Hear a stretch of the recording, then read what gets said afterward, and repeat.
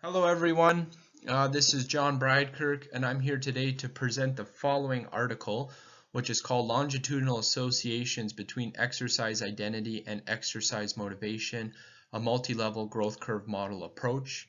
The primary reason I selected this article is for the analysis that they used multi-level growth curve modeling. It's a form of analysis being covered in the course and I want to take an opportunity to look at an article that used this form of analysis. So to begin, uh, the article talks about two types of uh, forms of um, ways people identify with exercising, either exercise identity and exercise motivation.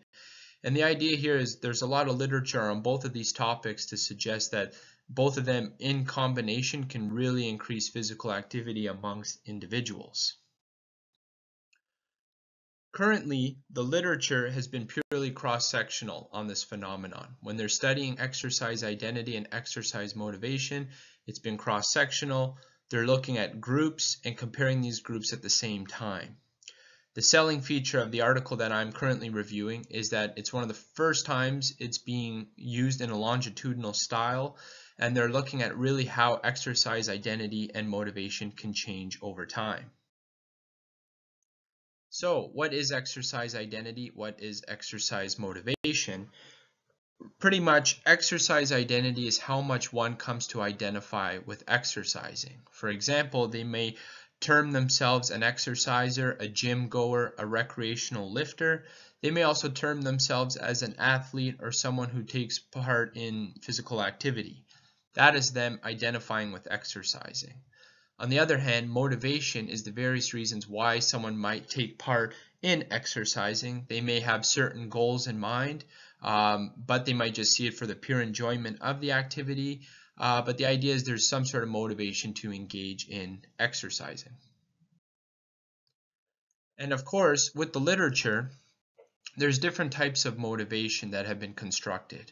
We have adaptive forms of motivation and we have non-adaptive forms of motivation.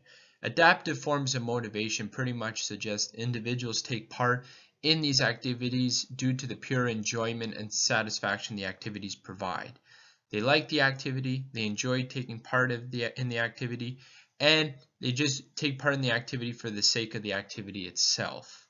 Um, on the other hand, non-adaptive forms of motivation um, don't necessarily come with the enjoyment that adaptive forms of motivation do.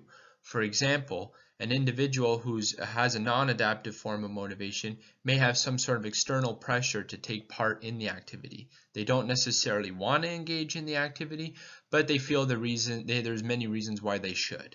So in some cases, they can have an external pressure or just be completely not motivated to do the activity at all.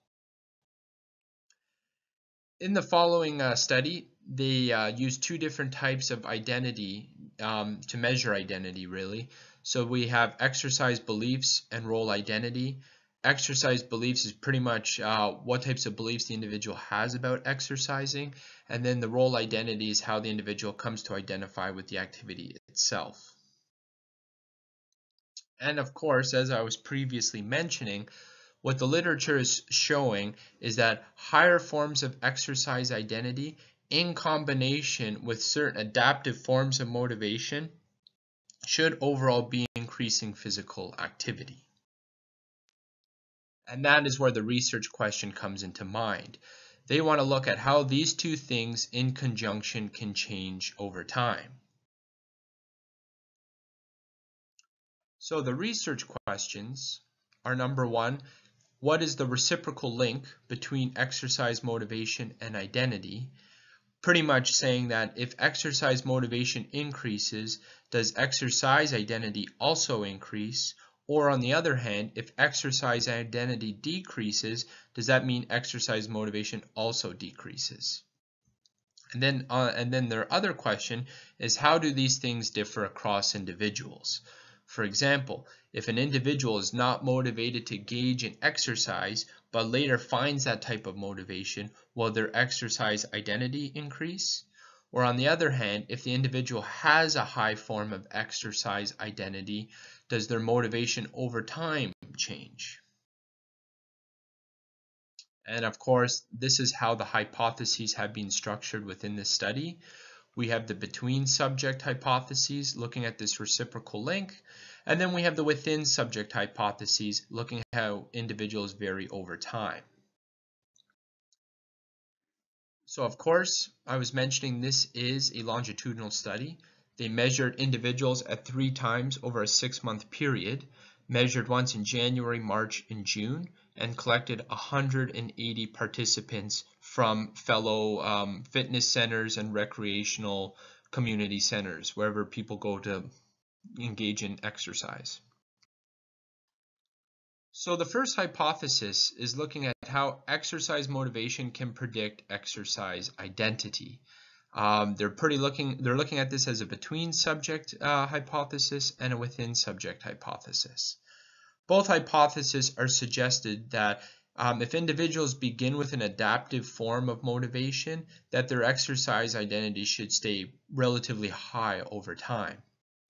On the other hand, if individuals have a non-adaptive form of motivation, that maybe their exercise identity will be pretty low throughout the study. And they're pretty much looking at that uh, for both the within subjects as well. For hypothesis 2 now, we just have the variables uh, flipped. We're looking at how identity now can predict motivation. So for example, does a high identity predict more adaptive forms of motivation over time? Or does a low identity predict more non-adaptive forms of motivation over time? And both of these are looked at from the between and within subjects. Now the analysis. This analysis uh, used Mplus statistical software and performed multi-level growth curve modeling. They used a full information maximum likelihood estimator and the primary reason why they chose uh, multi-level growth curve modeling is for number one, they want to look at those individual differences, which is part of their within subject hypotheses. But at the same time, they're putting a huge emphasis on time here, and they want to measure time as a continuous variable. Some of the other reasons why it seems like they're using multi-level growth curve modeling, which were not particularly stated within the article, is that they don't have a relatively large sample. They only have 180 individuals, and there is missing data within their sample. What we know about multi-level growth curve modeling is that it can be relatively flexible when uh, there's some issues dealing with sample size and missing data. Um, but also when it comes to the time frame the study took part in, uh, the times aren't equally spaced, meaning there was one that was collected month one, month three, and then month six. So the results, um, the way I'll be presenting these results is in four parts. First, I'll explain the intraclass correlation coefficients. Then I'll go into the, a univariate multi-level growth curve model. And then I'll go into the two main hypotheses. They pretty much did two preliminary analyses before exploring their main hypotheses on how motivation predicts identity and how identity can predict motivation. So, the intraclass correlation coefficient. This was done at time one in the study, and it is really looking at the amount of variability between the three non-adaptive types of motivation, the two adaptive types of motivation, and then the two forms of identity. And what they're pretty much showing at a between individual level that there is quite a bit of variability taking place between the forms of motivation. We could see here for amotivation and external regulation, they're pretty low in this sample, which would make sense because they're measuring individuals who are already going to gyms and fitness centers. On the other hand, there is a non-adaptive form of motivation, which is introjected uh, regulation, which is relatively high, and it is just as high as the adaptive forms of motivation. And what is really interesting is when it comes to the identities, they have a high rate of variability amongst the sample. So the next part of the results is a univariate MGM multi-level growth curve model.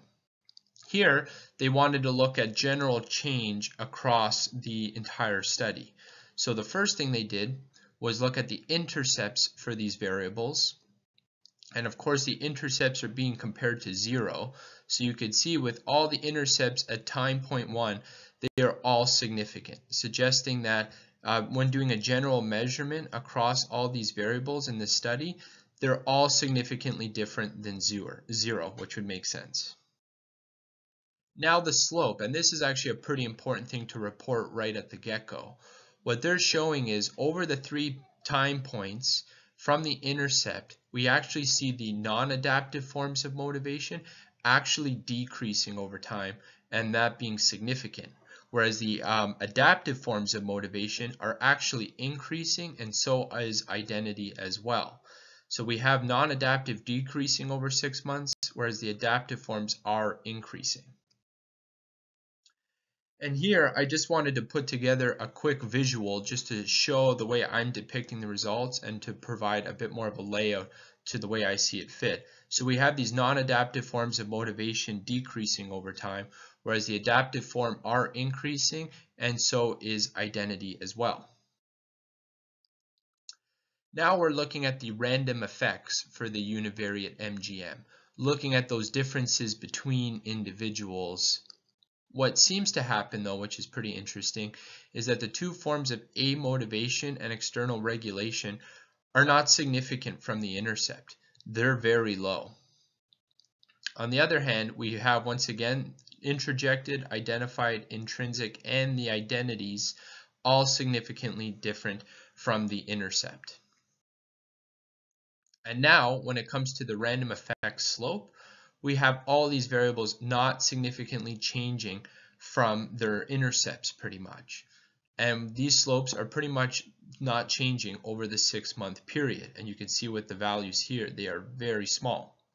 So from a visual standpoint, this is the way I interpret it. We have those low levels of non-adaptive motivation, the amotivation and external uh, motivation or regulation, which are very low and do not change. On the other hand, the introjected, the intrinsic, and the identified, they are significantly different from the intercept, but do not seem to change overall very much. And so goes for the identity as well. Now to go to the first hypothesis, looking at how motivation can predict identity. So to quickly recap, we're looking at how adaptive motivation can increase identity over time and how non-adaptive motivation can decrease identity over time. And we're going to look at as a between and within subjects. So for the between subjects, we want to look at how motivation can increase identity over time. And what do we see? We see something pretty interesting here. We see that external regulation um, does have at the intercept a pretty high value when it comes to exercise beliefs. And then of course, we have identified regulation um, also having some relation with exercise beliefs, and then intrinsic motivation being the only adaptive uh, motivation to have some role with identity. Now for the slopes, and this is where it's pretty interesting. What we see here is at a between subject level, um, none of the slopes are significantly different from the intercepts. So, for example, if we were to draw this out, the way I see it here is that we have the uh, one adaptive form of motivation, or really two of them, because we had the identified and intrinsic that seemed to have some predictive power with beliefs and role identity, but it was really that external regulation that had a strong um, intercept with beliefs. But these things do not change over time. And what this pretty much says from a quick interpretation is that some forms of motivation right at the get-go seem to have a very high level of belief associated with them. Um, and if those motivations don't really seem to change over time, neither do the exercise beliefs. Now for the within subjects. Um, so now we're looking at individual variability amongst these three, amongst these five motivations and their forms of identity. So what we have here is that introjected regulation has a significant relationship with beliefs, and then so do the two adaptive forms of motivation. And of course, it is only intrinsic motivation that has some significant relationship with role identity. So what's pretty much happening here is a bit of a result that was showing in the univariate analysis is that the two forms of adaptive motivation do seem to increase role uh, beliefs in exercise uh, seem to increase exercise beliefs and the one can increase role identity. On the other hand, we do have that one non-adaptive form of motivation, the introjected regulation, that also seems to have that power as well. Now for hypothesis two, looking at exercise identity and how it can predict exercise motivation. Just as a recap, we're looking at how identity, uh, how an increased identity can uh, alter motivation over time to being more adaptive, whereas a decreased identity may alter motivation to be less adaptive. And we're looking at that as a between and within subjects. So for the between subjects intercept, we have a negative uh, value attached to exercise beliefs and amotivation, which would make sense. These individuals are not really motivated to take part in exercising and have a bit of a negative view on exercising in general. Then when we look at the introjected regulation, we have now um, uh, a significant intercept with exercise beliefs and another significant intercept with role identity. And then, of course, when it comes to the two adaptive forms of motivation, they are both significant with um, exercise beliefs, but not role identity.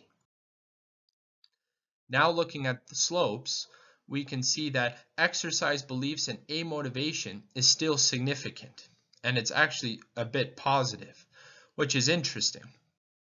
Now when it comes to introjected regulation, we have a bit of a negative decrease in introjected regulation with exercise beliefs, but now a positive relationship with role identity. So over time, it seems that this type of non-adaptive form of motivation can actually increase identity as well. And then when it comes to identified regulation and intrinsic motivation, identified regulation does not change much from the intercept. And what is interesting is intrinsic motivation seems to minorly decrease over time as well. And this is just a quick visual on the way I interpret these results. When it comes to the exercise beliefs, we do have some non-adaptive forms of motivation decreasing over time, but really their intercepts are high and they were much higher than the non-adaptive forms of motivation. So what this sort of suggests is that these individuals scored very high and didn't really have much room to change over time as well based on the rating scales they used. Of course now when it comes to role identity, we do have that introjected motivation that does seem to increase identity over time, whereas the other two forms of adaptive motivation seem to be relatively stable with identity. Now for the within subjects, looking at that individual variability. There's no significant difference for the two non-adaptive forms of motivation, but for introjected regulation, we do have a significant intercept between that and exercise beliefs. Now when it comes to the adaptive forms of motivation, we have um, a significant relationship with exercise beliefs and intrinsic motivation. And that's pretty much the way this is looking exercise beliefs seem to increase over or exercise beliefs seem to increase certain types of motivation over time the two adaptive and the one non-adaptive but your role identity doesn't really seem to change any of these things over time these intercepts should actually be all lower than they actually are as well because they weren't significant so in conclusion uh, they're pretty much showing that there is a reciprocal relationship between exercise identity and exercise motivation. Um, higher motivation does seem to increase identity, and a higher identity also seems to increase motivation. This was found at the between and within subjects level. But what is interesting is it's not completely clear cut. Yes, we have an increase in two adaptive forms of motivation, but that introjected regulation also seemed to be uh, very much tied to role identity. Not as much exercise beliefs, but role identity. So in conclusion, one of the main findings is that intrinsic motivation had a high role identity and exercise beliefs. There was a moment where there was a slight decrease over time, but what the authors are suggesting is because they scored motivation so high and they scored their identity and exercise beliefs so high, is that there was no real room for, uh, for increase. It really, the most that it could do was go down, which it did. Um, on the other hand, there was an interesting result for amotivation. Those who are not motivated to take part in exercise had high exercise beliefs, but not high exercise beliefs in the way you would think. Their beliefs are pretty much fixed on not interested in exercising. So it's really the opposite.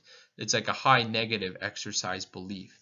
And without motivation changing over time, their exercise beliefs aren't going to change over time. And pretty much what the authors authors suggest of this study is that if you really want to show the benefits of physical activity or show the benefits in, in one's beliefs, it really comes down to changes in motivation. Hopefully those who are amotivated can find some enjoyment in the activity to either develop an adaptive form of motivation to increase those exercise beliefs and potential role identity. But other than that, um, some of these non-adaptive forms of motivation did not seem to have any benefit towards exercise beliefs or role identity. We do see that unique result with introjected regulation, whereas it did have some effect with role identity and exercise beliefs, um, but that was pretty much it. Thank you very much for watching this presentation.